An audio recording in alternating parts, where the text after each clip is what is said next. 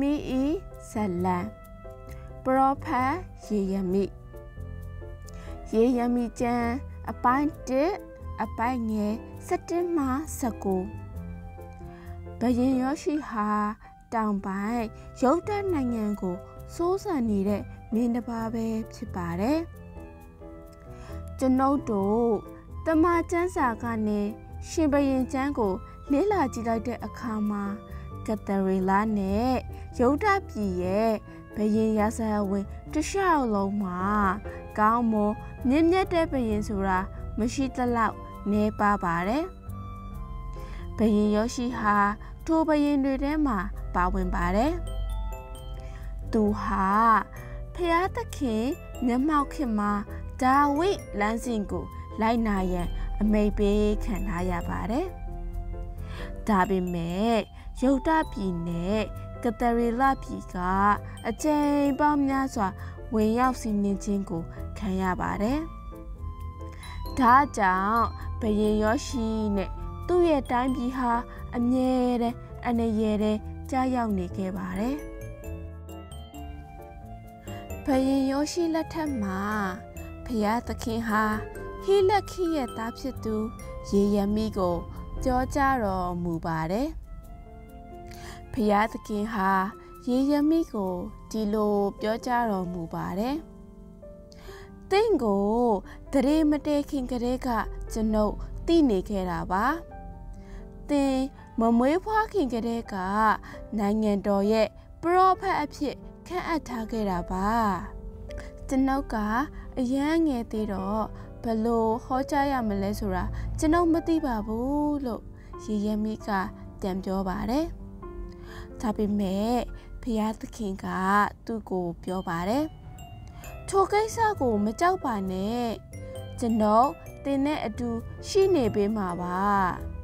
ဒီနေ့တိုင်းပြည်တွေနဲ့ပြည်နယ်တွေကိုဖြိုခွင်းတက်စီးပြည့်ပြီးပြန်လဲတီထောင်ပြိုးထောင်ပါမယ်ဖျားသခင်ဟာသူ့ကို ကြီးမားတဲ့မြရှင်ကြီးတစ်ခုပေးအပ်ခဲ့ပါတယ်ဖျားသခင်ကရေရမီကို အမြင်အာရုံနှစ်ခုပေးအပ်ခဲ့ပါတယ်။ရေရမိကသူဘလို့ဟောကြားရမှမသိဘူးလို့ပြန်ဖြေခဲ့ပါတယ်။ဒါကြောင့်ဖျားသခင်ကသင်ဘာမြင်အာရုံတွေရလဲလို့မေးခဲ့ပါတယ်။ ကျွန်တော်ဘာရန်ပေးရဲ့အကိုက်အခက်တွေကို တွေ့ပါတယ်လို့ရေရမိကပြန်ဖြေပါတယ်။တင်မြင်တာတွေကအမှန်တွေပါဖျားသခင်ကဖြေပါတယ်ဒီတိုင်းပြည်မှာရှိတဲ့ဘာရန်ပင်တွေက အခြားအပင်တွေထက်စောပြီးပွင့်ဖူးလာမှာပါ ဟေဘရုဘာသာပြန်ဆိုချက်သည်ဟေဘရုကရိယာရဲ့စောင့်ရှောက်ခြင်းလို့အတိတ်ပဲရပါတယ်။နေဦးရသည်မှာဘာရန်ပင်တွေဖူးပွင့်တကဲ့သို့ကတရီလာလူတို့ရဲ့စိတ်ကိုနိုးကြအောင်ပြုလုပ်ပေးမဲ့သူကို ထိမ့်သိမ့်ပေးဖို့ဖျားသခင်ကရေရမိကိုဂရီစကားပြုပါတယ်ဖျားသခင်က နောက်ထပ်အမြင်အာရုံကိုပေးပြီးထိုအမြင်အာရုံကဘယ်လိုမျိုးလဲလို့မေးလိုက်ပါတယ်ရင်နှွေးအိုးပွပွဆူနေတာကိုမြင်ရပါတယ်လို့ရေရမိကဖြေပါတယ်အဲ့ဒါဟာညောင်ရက်ကနေငါတို့ကိုပြောချခြင်းနဲ့ဖြစ်ပါတယ်လို့ဘုရားသခင်ကရှင်းပြပါတယ်မြောက်ဘက်ဘေးအနေရဟာ မြေပြင်မှာနေတဲ့သူတွေစီကြားရောက်ပါလိမ့်မယ်ကတရီလာပြည်နဲ့အိန္ဒိနာချင်းနိုင်ငံတွေဟာကြီးမားသောရှုပ်ထွေးမှုများနဲ့ရင်ဆိုင်ရပါလိမ့်မယ်ဤအမြင်အာရုံအရာအကျယ်အတဲဖြစ်နေချိန်မှာဘုရားသခင်ကကတရီလာပြည်နယ်နဲ့ရေရမ်းမြပြည်နယ်ကိုကြည့်ရှုစောင့်ရှောက်တော်မူနေတာကို အသိပေးလိုက်ပါတယ်။ ငြိမ်းချမ်းနေချိန်မှာလည်းပရောဖက်ကိုလိုအပ်ပေမဲ့အနေရကြောက်ရောက်နေချိန်မှာပရောဖက်ကိုပို့ပြီးလိုအပ်ပါတယ်။ဖះသခင်ရဲ့အတန်းကိုတခါကြားပြီးကလေးကရေရမီရဲ့ဘဝဟာပြောင်းလဲသွားခဲ့ပါတော့တယ်လူတွေကရေရမိကိုဖျားသခင်ရဲ့တရားတော်တွေကို မဟောဖို့ချင်းကြောက်ကြပါလိမ့်မယ် တခါတလေထို့သို့လုပ်ဖို့သွေးဆောင်ခြင်းကိုလည်းသူခံစားရပါလိမ့်မယ်ဒါပေမဲ့ဘုရားသခင်ကသူ့ကိုအားပေးပြီး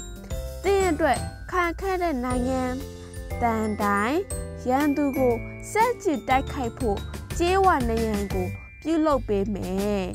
ကျွန်တော်တင်းနဲ့အတူရှိနေမှာပါ မကြောက်ပါနဲ့လို့မိန့်ပါတယ် ထိုစကားဟာပရောဟိတ်ရေရမိအတွက်နှစ်သက်ဖွယ်ကောင်းတဲ့နှစ်သိမ့်မှုတစ်ခုဖြစ်ခဲ့ပါတယ်ချစ်စွာသောတငယ်ချင်းတို့ရေရေရမိခေလို့စစ်ပွဲအညက်ပေးယောဂပေးကဲ့သို့သောတသနာတွေကယနေ့အထိဆက်လက်တည်ရှိနေစေပါဒါပေမဲ့ယနေ့ကျမ်းစာမှာပြောကြားချက်အတိုင်းဘုရားသခင်ဟာသူ့ရဲ့ လူများကိုစောင့်ရှောက်ရန်ကာကွယ်ရန်ကတိပြုထားပါတယ်ကျွန်ုပ်တို့ကဘုရားသခင်ရဲ့ဂရိစကားကိုမမေ့ပဲဘုရားသခင်ကို အမြဲဆုတောင်းဝတ်ပြုပြီးခက်ခဲနေချိန်များမှာဘုရားသခင်ကို အားကိုးကြရအောင်